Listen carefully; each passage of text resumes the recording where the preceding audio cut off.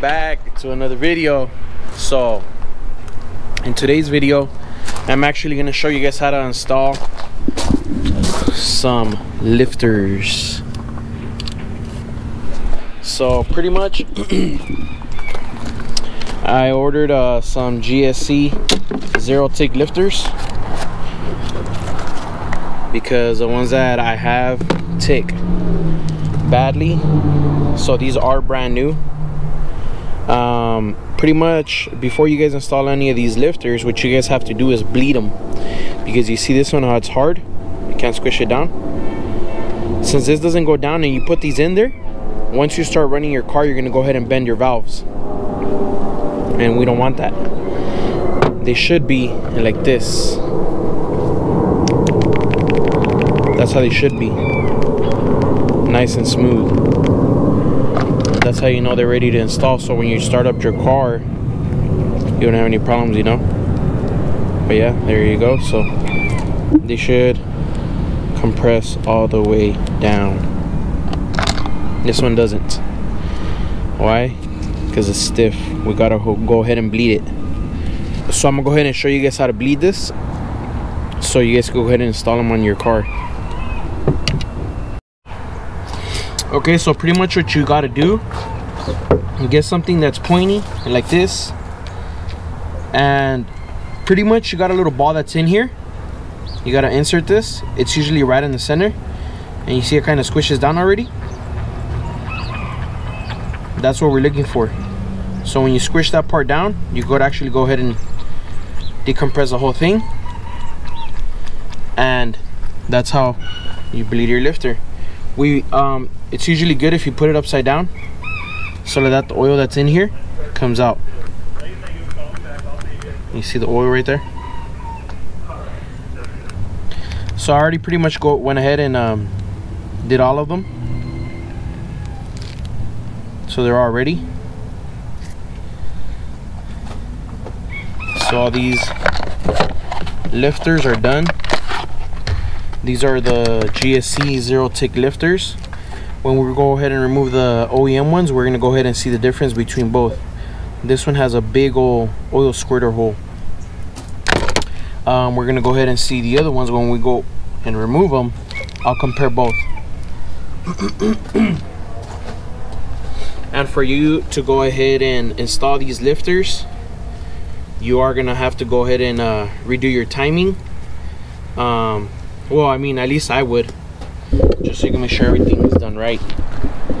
And I already went ahead and removed everything.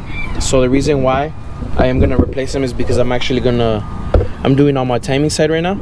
So this is the best opportunity to go ahead and take all this apart. I already removed my valve cover. On the valve cover you have 14 uh, I believe it's 14 screws. You got three in the bottom. Let's see. You have three in the bottom and then you have three in the top. So that's already six seven eight nine 10 11 12 13 and 14 so you want to go ahead and remove those 14 uh, screws and all you got to do is wiggle it a little bit and go ahead and remove the valve cover. Now what we got to do is go ahead and remove the cam caps. So when you're going to go ahead and remove the cam caps you're actually going to start with three then you go to four then you go to two five one and then the last one right here so I'm gonna go ahead and do the same thing for this one. Start at three. It actually has the numbers right here. E for exhaust three. I for intake. I intake three. And uh, exhaust three. It's probably gonna be kind of hard to see but it's gonna be the same thing. Three four two five one and then the last one. I actually already removed the screws that go here for the sensor so I have one screw here and then have another screw right here in the back. I did already remove those. And we also got the HLA pressure regulator right here for the head which I have right here.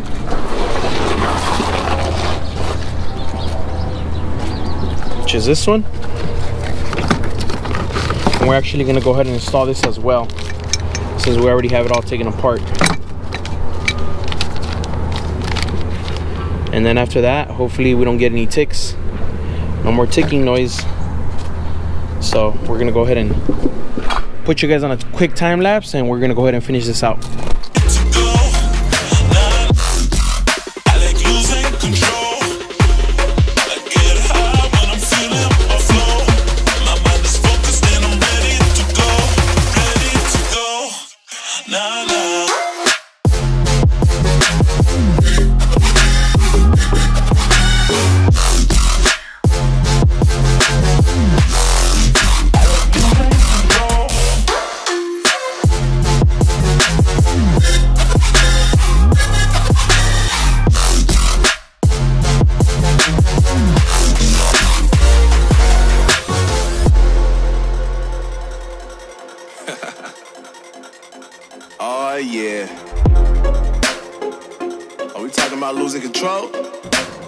Okay, so these are the lifters that I had in the car.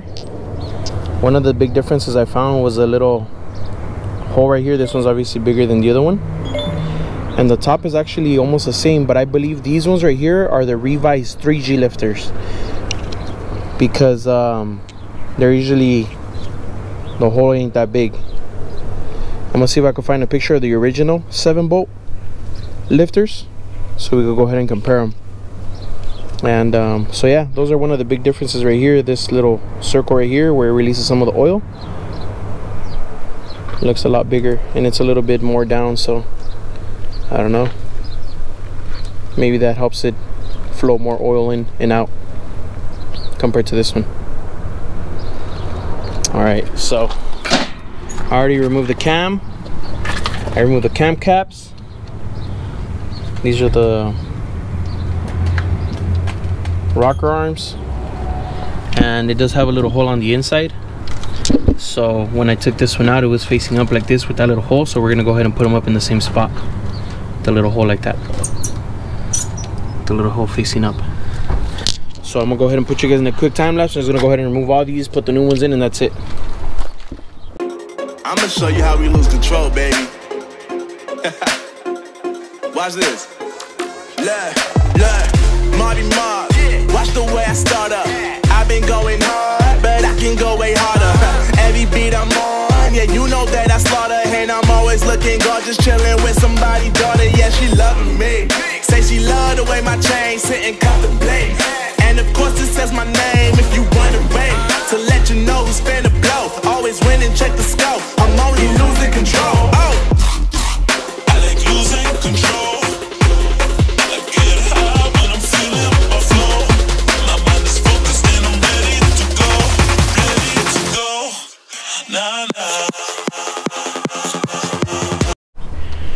Okay, so as you guys can see, I already went ahead and installed the new lifters. We did go ahead and torque these down. I looked at the manual, it said 14 foot pounds, so all these are torqued down to 14 foot pounds. Same as same uh, same thing right here. Now what we're gonna go ahead and do is remove the. We're gonna go ahead and remove this part, and we're gonna go ahead and install the HLA pressure regulator.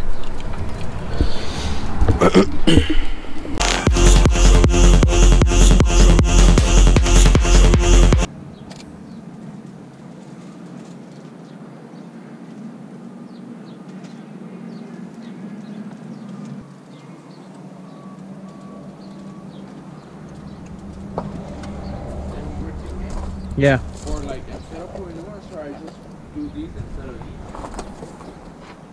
Huh? Should I just do that?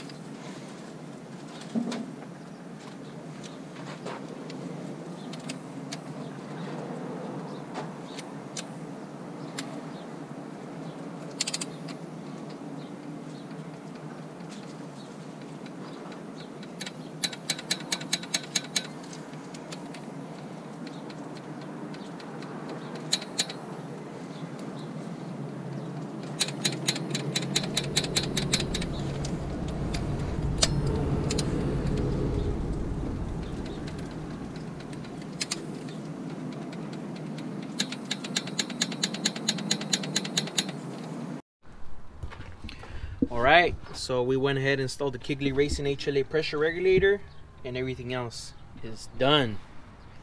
Now all we got to do is go ahead and put the sensor back on, put the valve cover back on, and do the whole timing.